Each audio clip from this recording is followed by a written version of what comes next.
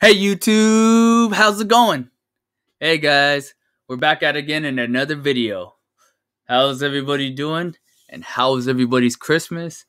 And also, how's everybody living? You know? Are you guys ready for the new year? I know I am. That's for sure. Well, here we go. We're gonna jump into the Codecademy HTML forms.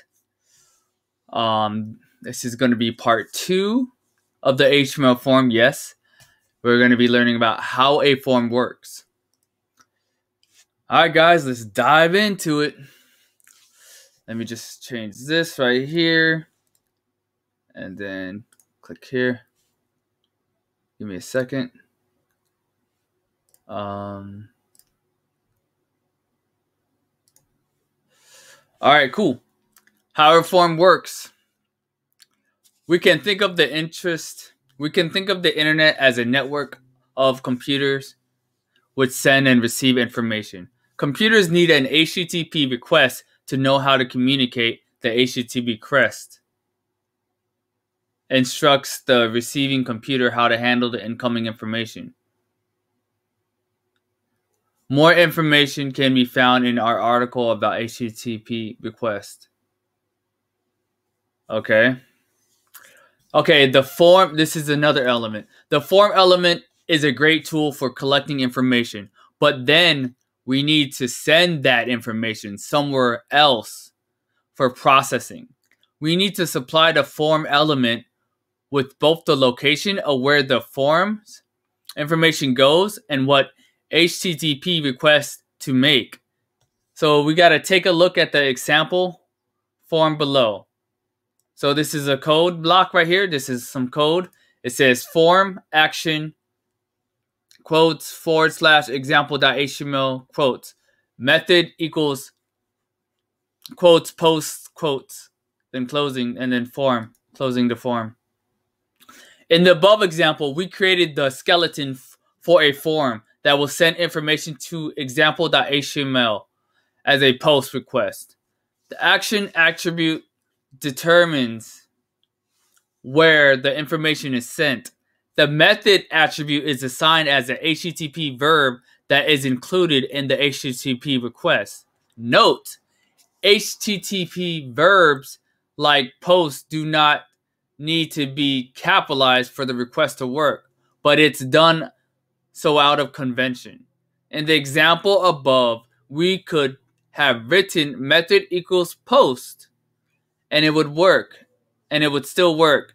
The form element can also be also contain child elements. For instance, it would be helpful to provide a header so that users know what this form is about. We could also add a paragraph to provide even more detail. Let's see an example of this in code. All right, here's another um code block. Here we go form action equals quotes forward slash example.html quotes. Method equals quotes post uh quotes uh, closing it. Or yeah just uh, ending that. H1 header 1 create creating a form closing h1 paragraph. Look looks like you want to learn how to create an html form well, the best way to learn is to play around with it. So this is a closed paragraph and a closed form. The example above doesn't collect any user input, but we'll do that in the next exercise. For now, let's practice making the foundation of an HTML form. All right, so these are our instructions. So in this in the section in the section element, add a form element under the provided comment assign the form with an action attribute and with a value of practice h forward slash practice dot html uh, quotes and then a method attribute with the value of post. All right, cool. So the first thing what we're gonna do is we're gonna go over here to our code. Um, I'm curious about what's this. Okay, this shows our files and everything. All right, that's fine. This just shows our files like a folder structure, like the files and then folder, and then this is the file index HTML and then styles. Okay, let's go. So in the section element, add a form element under the provided comment, assign the form with. All right, so it's over here. This is under the comment.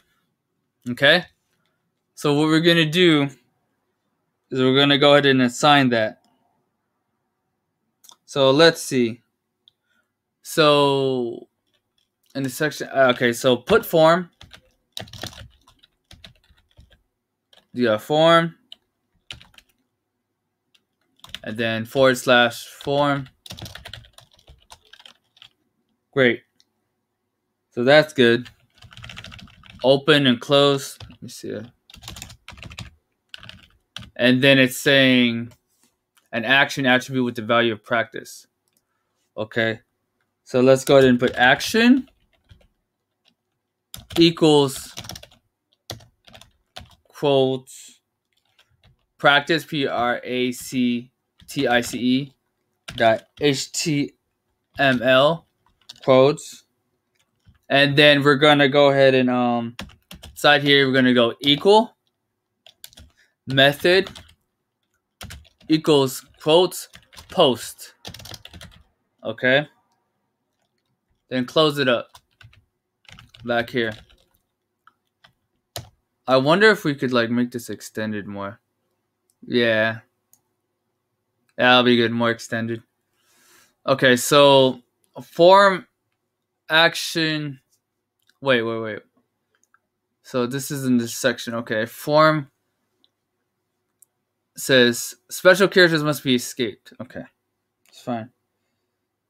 So form action equals practice at HTML equals method equals post. So let's capitalize this, the convention post. And then we close it. Is this a, okay, we close it. And then we do H1 We got H1, H1, close, um, close it, and then what we're gonna put burger. Well, this is a burger, so, um, so an action attribute practice. Okay, we did that, and then a method post attribute to value. Okay, let's try to run and see what's going on next. Did you assign method attribute a value of post? Double click and check the spelling syntax. All right, let's check. Let's check it again. We got so we got form action equals practice. Oh, I forgot the forward slash. There you go. See that? Okay, little by little. Okay. Form action equals quotes forward slash HTML, close that. Then we got method. No, I didn't do that right. So it has to be method right here. Post. So let's run it again. Okay, cool. That check marked. Nice. And then right now we have we have a blank form on the burger side. Let's add some text. So let's add some text like um this this is a form of a burger, so let's put burger form. Okay. Let's run that. Nice. It adds so from this H1 it'll add it over here uh, live and see what we have did.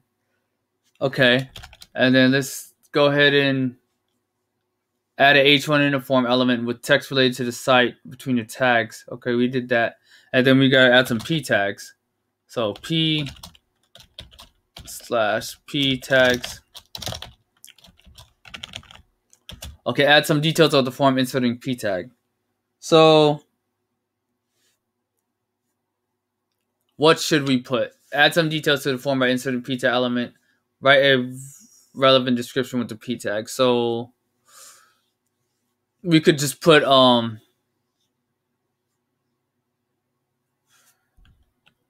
burger items here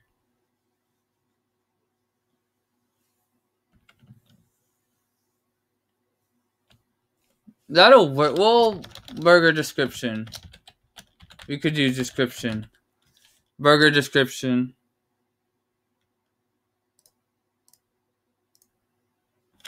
Burger descriptions. Okay. That'll work. Okay.